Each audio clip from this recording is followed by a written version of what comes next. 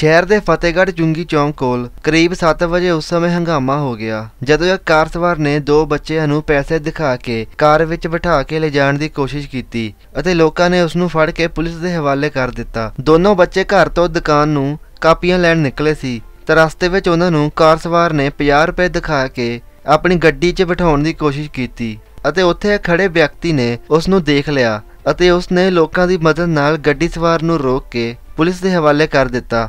ਕਾਰ ਚਾਲਕ ਦਾ ਕਹਿਣਾ ਸੀ ਕਿ ਉਹ ਬੱਚਿਆਂ ਨੂੰ ਕਿਤੇ ਲੈ ਕੇ ਨਹੀਂ ਜਾ ਰਿਹਾ ਸੀ ਬਲਕਿ ਉਹਨਾਂ ਨੂੰ ਪੈਸੇ ਦੇ ਰਿਹਾ ਸੀ ਪਰ ਲੋਕਾਂ ਨੇ ਤੁਰੰਤ ਪੁਲਿਸ ਨੂੰ ਫੋਨ ਕਰਕੇ ਉਸ ਦੀ ਜਾਣਕਾਰੀ ਦਿੱਤੀ ਥਾਣਾ ਮਾਡਲ ਟਾਊਨ ਪੁਲਿਸ ਨੇ ਮੌਕੇ ਉੱਤੇ ਪਹੁੰਚ ਕੇ ਗੱਡੀ ਚਾਲਕ ਨੂੰ ਕਾਬੂ ਕਰ ਲਿਆ ਅਤੇ ਥਾਣੇ ਲੈ ਗਈ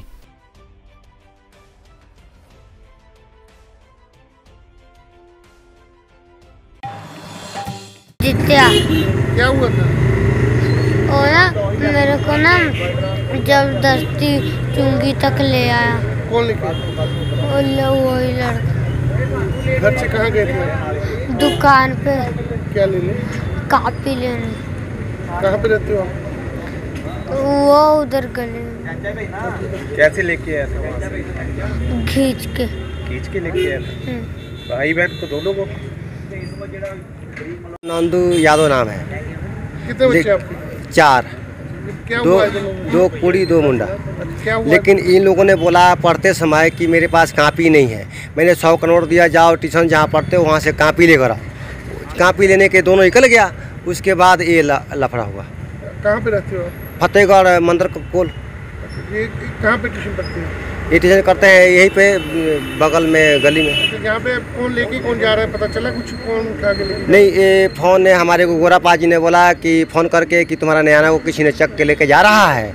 तुमने तब मैं फ़ौरन इधर आ गया। फतेहगढ़ के तरफ़ जा रहे हैं ऐसे बोला मैं आ गया। क्या काम करते हो मैं मिस्त्री के काम करते हैं सर जी राज मकान बनाते हैं। फतेहगढ़ में कितनी देर से रहते हैं? यहाँ से कम से कम 2010 से रहते हैं सर जी। अशोक कुमार सैनी नाम है जी। ਤੇ ਨਾਲ ਹੀ ਪਿੱਛੇ ਮੇਰਾ ਘਰ ਹੈ। ਤੇ ਮੈਨੂੰ ਫੋਨ ਆਇਆ ਸਡਨਲੀ ਮੈਂ ਘਰ 'ਚ ਸੀਗਾ ਤੇ ਮੇਰਾ ਦੋਸਤ ਹੈ ਜਿਹਦੇ ਘਰ ਰਹਿੰਦੇ ਨੇ ਕਿਰਾਏ ਤੇ ਰਜੇ ਸੈਣੀ ਜੀ। ਉਹਨਾਂ ਦਾ ਫੋਨ ਆਇਆ ਕਿ ਸ਼ੋਕ ਤੂੰ ਕਰ ਰਹੀ ਹੈ? ਮੈਂ ਕਿਹਾ ਮੈਂ ਕਰ ਰਹੀ ਹਾਂ। ਤੇ ਕਹਿੰਦਾ ਇਦਾਂ ਇੱਕ ਅਣਪਛਾਤਾ ਬੰਦਾ ਨਾ ਮੈਨੂੰ ਉਸ ਕਿਸੇ ਨੇ ਦੱਸਿਆ ਲੇਡੀ ਸੈਰ ਕਰ ਰਹੀਆਂ ਸੀ ਉਹਨਾਂ ਨੇ ਦੱਸਿਆ ਕਿ ਇਹ ਨੰਦੂ ਦੇ ਬੱਚਿਆਂ ਨੂੰ ਲੈ ਕੇ ਜਾ ਰਿਹਾ ਕੋਈ ਬੰਦਾ। ਤੇ ਤੁਸੀਂ ਜਰਾ ਟਰੇਸ ਕਰੋ ਦੇਖੋ। ਪੈਦਲ ਲੈ ਕੇ ਆ ਰਿਹਾ ਸੀ ਇਹਨਾਂ ਦੇ ਹੱਥ 'ਚ ਪਤੰਗ ਸੀ ਉਹ ਬੰਦੇ ਦੇ ਹੱਥ 'ਚ 50 ਦਾ ਨੋਟ ਸੀ। ਉਹ 50 ਦਾ ਨੋਟ ਇਹਨਾਂ ਨੂੰ ਦਿਖਾ ਰਿਹਾ ਸੀਗਾ। ਮੈਂ ਪਿੱਛੋਂ ਦੀ ਆਇਆ ਤੇ ਮੈਂ ਇਹਨੂੰ ਆ ਕੇ ਦਬਕਾ ਮਾਰਿਆ। ਮੈਂ ਕਿਹਾ ਤੂੰ ਕਿੱਥੇ ਜਾ ਰਿਹਾ? ਕਹਿੰਦਾ ਅੰਕਲ ਲੈ ਕੇ ਜਾ ਰਹੇ ਆ ਮੈਨੂੰ। ਮੈਂ ਕਿਹਾ ਕਿੱਥੇ ਮੈਂ ਉਹਨੂੰ ਪੁੱਛਿਆ ਮੈਂ ਕਿਹਾ ਤੂੰ ਕਿੱਥੇ ਲੈ ਕੇ ਜਾ ਰਿਹਾ? ਕਹਿੰਦਾ ਬਸ ਭਾਜੀ ਇਹ ਪਤੰਗ ਲੈ ਕੇ ਮੈਂ 10 ਰੁਪਏ ਦੇਣੇ ਇਹਨਾਂ ਨੂੰ ਗੱਡੀ ਚੋਂ ਕੱਢ ਕੇ। ਗੱਡੀ ਇੱਥੇ ਪਿੱਛੇ ਖੜੀ ਸੀ ਉਹਦੀ। ਤੇ ਮੈਂ ਇਹਨਾਂ ਨੂੰ ਫੜ ਲਿਆ ਸਾਈਡ ਤੇ ਕਰ ਲਿਆ ਉਹਨੂੰ ਵੀ ਫੜ ਲਿਆ। ਨਾਲ ਹੀ ਫਿਰ ਜਿਨ੍ਹਾਂ ਨੇ ਮੈਨੂੰ ਫੋਨ ਕੀਤਾ ਸੀ ਉਹ ਵੀ ਗੱਡੀ ਲੈ ਕੇ ਇੱਥੇ ਪਹੁੰਚ ਗਏ। ਉਹ ਵੀ ਆ ਗਏ। ਉਹਨਾਂ ਨੇ ਆ ਕੇ ਦੋ ਚਾਰ ਸਵਾਲ ਕੀਤੇ। ਕਹਿੰਦਾ ਮੈਂ ਕਿਸੇ ਡਾਕਟਰ ਸਾਹਿਬ ਦੇ ਘਰ ਆਇਆ। ਅਸੀਂ ਕਿਹਾ ਚੱਲ ਫੋਨ ਕਰ ਡਾਕਟਰ ਸਾਹਿਬ ਨੂੰ ਕਿੱਥੋਂ ਨਾ ਕਿਹਦੇ ਕੋਲ ਆਇਆ। ਕਹਿੰਦਾ ਚਲੋ ਮੇਰੇ ਨਾਲ ਡਾਕਟਰ ਸਾਹਿਬ ਦੇ। ਅਸੀਂ ਇੱਕ ਬੰਦਾ ਉਹਦੇ ਨਾਲ ਭੇਜਿਆ ਲੇਕਿਨ ਉਹ ਬੰਦੇ ਨੂੰ ਨੂੰ ਅੱਖ ਬਚਾ ਕੇ ਦੌੜ ਗਿਆ। ਉਹ ਗਿਆ ਉਸ ਬੰਦੇ ਦੇ ਘਰੇ ਹੀ, ਡਾਕਟਰ ਸਾਹਿਬ ਦੇ ਘਰੇ। ਹੀ। ਪਰ ਉਹ ਡਾਕਟਰ ਸਾਹਿਬ ਇੱਕਦਮ ਸਾਡੇ ਕੋਲ ਆ ਗਏ।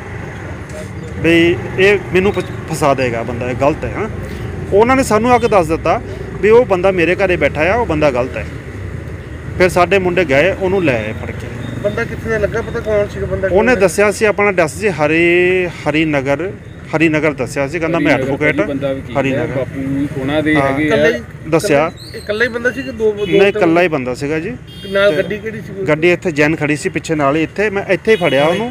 ਬਸ ਇੱਕ ਸੈਕਿੰਡ ਦਾ ਹੀ ਫ਼ਰਕ ਸੀਗਾ ਸ਼ਾਇਦ ਉਹ ਬੱਚਾ ਬੱਚਾ ਬਿਠਾ ਲੈ ਬਿਠਾ ਵੀ ਲੈਂਦਾ। ਪੁਲਿਸ ਆ ਗਈ ਸੀ ਪੁਲਿਸ ਨੂੰ ਫੋਨ ਕੀਤਾ ਪੁਲਿਸ ਆ ਗਈ ਆ ਉਹ ਬੰਦੇ ਨੂੰ ਲੈ ਗਈ।